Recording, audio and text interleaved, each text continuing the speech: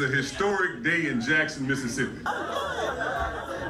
The city of Jackson proclaims to be the official home of Southern soul music, and Councilman DeKeither Stamps is hosting a music event today to celebrate. It's taking place at Johnny T's Bistro and Blues. The event began with a news conference followed by a reception and jam sessions. A number of artists are in attendance, like Bobby Rush, Vick Allen, J-Wonn, and Candyman.